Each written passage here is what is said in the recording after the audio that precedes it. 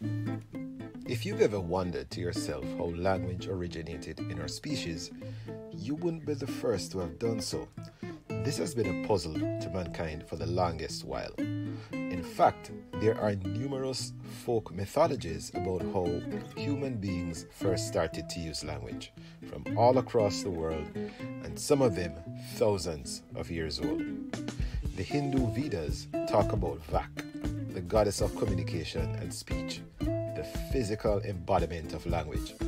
In ancient Norse mythology, Odin's brother, Ve, is credited with giving humans the ability to use language. The West African Yoruba deity Esho is a trickster who acts as the messenger of the gods, or Orishas, and is said to have granted humans the ability to speak and the most popular mythology of all comes from the Hebrew folklore, where their deity, Yahweh, gave language to Adam and Eve. All of these legends and mythologies were our first attempts at thinking through the origin of language. Note that I am using the word language and not languages. This is an important distinction. When I say language, I am referring to the human system of communication, which is either spoken or signed. Languages, or a language, has to do with the system of communication used by a group of humans living in a specific location, like Canada, or are part of a specific community, like Afro Canadian young persons in Toronto. The language in a geographical location or a community can change as a result of time, migration, intermarriage, and a host of other factors. But it still leaves the question how did the first humans learn to use language? Well, the short answer is we don't know. There's currently no definitive scientific explanation. One of the more persuasive explanations is that language arose as a result of five features that human beings possess features shared by other non human species on our planet, but not nearly to the same degree as us. The first of these is that human beings appear to have a genetic predisposition to language.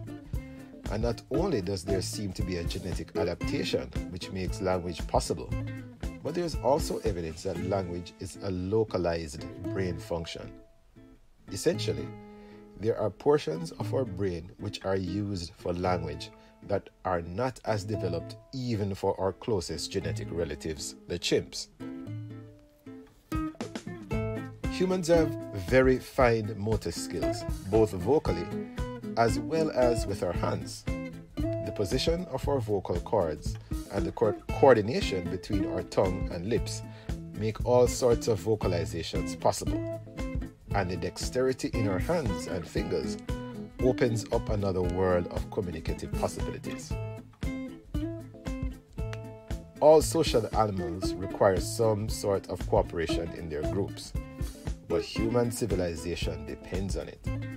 The intricate nature of our social systems in our lives is only made possible through language.